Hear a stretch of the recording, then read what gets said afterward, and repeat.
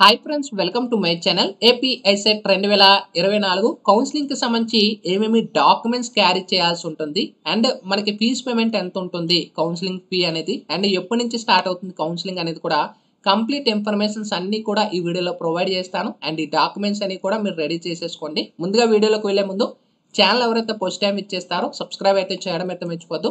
AP ICET counselling related అన్ని కూడా ఈ ఛానల్లో రెగ్యులర్గా ఎప్పుడు కూడా పోస్ట్ చేస్తూ ఉంటాను. అండ్ లాస్ట్ ఇయర్ కూడా పోస్ట్ చేశాను చాలా మటుకు.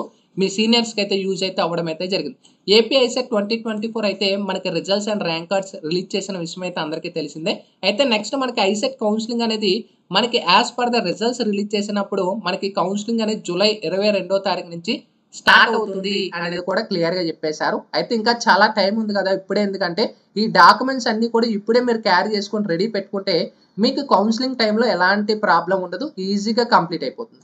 అయితే మనకి ఏపీ ఐసెట్ ఎవరైతే ట్వంటీ ట్వంటీ ఫోర్ ఎంబీఏ కానీ ఎంసీఏ కానీ రెండు వేల ఇరవై నాలుగు ఇరవై ఐదులో జాయిన్ అయ్యి ఉంటారో ఫీజ్ పేమెంట్ డీటెయిల్స్కి వెళ్ళినట్టయితే మనకి కౌన్సిలింగ్ ఫీ అనేది ఆన్లైన్లో మీ ఫీజ్ పేమెంట్ కంప్లీట్ చేసుకుంటారు. మీ యొక్క ఫీజ్ పేమెంట్ అనేది ఓసీబీసీ వాళ్ళకి ట్వెల్వ్ హండ్రెడ్ రూపీస్ అనేది ఉంటుంది. And SC ST physically handicapped వాళ్ళకి ఆరు వందల రూపాయలు అయితే ఉంటాయన్నమాట సిక్స్ హండ్రెడ్ రూపీస్ అని. Payment payment and credit card debit card net banking నుంచి మీరు డైరెక్ట్ వెబ్సైట్లో అయితే పేమెంట్ చేసుకోవచ్చు. అది ఫస్ట్ ర్యాంక్ నుంచి లాస్ట్ ర్యాంక్ వరకు. అయితే ఇంకా మనకి certificates to be upload at the time of registration మీరు సర్టిఫికేట్స్ ఇవన్నీ కూడా స్కాన్ చేసుకొని పక్కన పెట్టుకోండి. ఏంటంటే మనకి AP I CET hall ticket కానీ and AP ICET rank card and transfer certificate TC ఏదైతే మీ టీసీ ఉంటుందో అది డిగ్రీ కానీ బీటెక్ కానీ ఏదైతే మీ టీసీ ఉంటుందో టీసీ కూడా.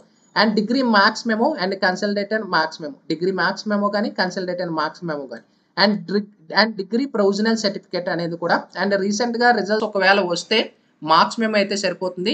అండ్ మార్క్స్ మేమోతో ప్రాబ్లం లేదు. అండ్ మీ దగ్గర ప్రొవిజనల్ ఉంటే ప్రొవిజనల్ కూడా అప్లోడ్ చేసుకోవచ్చు. చాలా మందికి ప్రొవిజనల్ రాకపోవచ్చు. ఎవరైతే ప్రజెంట్ వచ్చిన రిజల్ట్స్ వాళ్ళకి మెమోస్ మీ దగ్గర ఉంటాయి. లేదా నెట్ కాపీ జెరాక్స్ కాపీ ఏదైతే రీసెంట్గా వచ్చిందో ఆ జెరాక్స్ కాపీ తీసుకొని సైన్ అండ్ స్టాంప్ పెట్టించుకున్న ప్రాబ్లం లేదు. ఓకేనా last and intermediate marks memo కానీ లేదా డిప్లొమా మార్క్స్ మెమో ఇంటర్ చేస్తే ఇంటర్ డిప్లొమా చేస్తే డిప్లొమా ఓకేనా SSC or equivalent mark memo tenth క్లాస్కి సంబంధించి ఈ మెమో ఒకటి కంపల్సరీ మీరు క్యారీ చేయాల్సి ఉంటుంది. ఇవన్నీ కూడా మీరు స్కాన్ చేసుకొని పక్కన పెట్టేసుకోండి.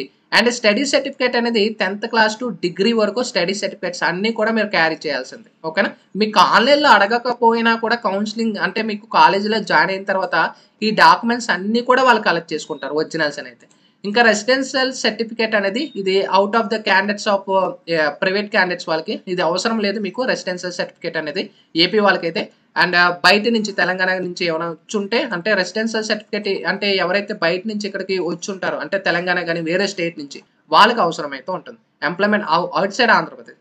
And latest valid income certificate ఒకవేళ ఇన్కమ్ సర్టిఫికేట్ లేకపోతే మీరు రేషన్ కార్డ్ అనేది కూడా అప్లై చేసుకోవచ్చు. అంటే రేషన్ కార్డ్ అనేది కూడా ఆన్లైన్లో అప్లోడ్ చేసుకోవచ్చు. మ్యాక్సిమం ఇన్కమ్ సర్టిఫికేట్ రెడీ చేసుకోండి. ఎప్పటికైనా మీకు ఇన్కమ్ అనేది కంపల్సరీ. మీ పేరెంట్స్ పే పేరు మీద.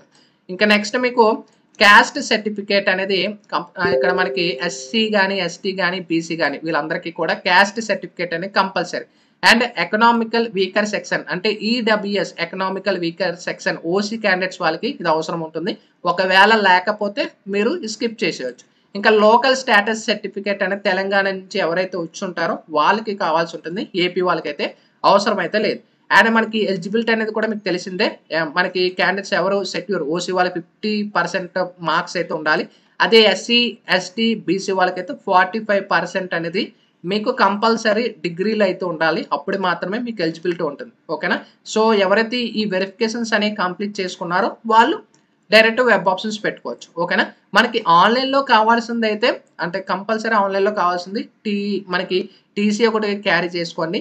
అండ్ తర్వాత మీ యొక్క ఇంటర్ మార్క్స్ మెమోస్ అన్ని క్యారీ చేసుకోండి. అండ్ మీ యొక్క డిగ్రీ కానీ ఇంటర్ మార్క్స్ మేము కూడా క్యారీ చేసుకోండి. అండ్ ఇన్కమ్ క్యాస్ట్ అనేది కంపల్సరీ ఓసీ వాళ్ళు అయితే ఈడబ్ల్యూఎస్ ఇవే మ్యాక్సిమం అడుగుతారు ఇవే మ్యాక్సిమం లాస్ట్ టైం అయితే అడిగాయి. సో ఇవే అనేది మనం పర్టికులర్గా ఇవన్నీ రెడీ చేసుకుంటే ఇప్పటి నుంచే మీరు కౌన్సిలింగ్ ఎలాంటి ట్రబుల్ లేకుండా సింపుల్గా కంప్లీట్ అవుతుంది. ఓకేనా ఇది మనకి కౌన్సిలింగ్ రిలేటింగ్ డాక్యుమెంట్స్ ఏమేమి కావాలనేది కూడా. సో ఆల్రెడీ మీకు తెలిసిందే మనకి ఐసెట్ కౌన్సిలింగ్ జూలై ఇరవై రెండో తారీఖు నుంచి స్టార్ట్ అవుతుంది. అండ్ uh, ఆగస్ట్ పన్నెండో తారీఖు లోపు కౌన్సిలింగ్ కంప్లీట్ అయిపోతుంది. అండ్ మీకు క్లాస్ వర్క్ అనేది ఎంబీఏ కానీ ఎంసీఏ కానీ ఆగస్టు ట్వెల్త్ నుంచే స్టార్ట్ అయిపోతుంది. ఓకేనా ఇది మనకి ఐసెట్ కౌన్సిలింగ్ రిలేటెడ్గా అడిగిన ఏవైతే డౌట్స్ కానీ ఏమైనా ఉంటే ఇంకా మీరు కామెంట్ సెక్షన్లో తెలుసు. Sign up bye friends thank you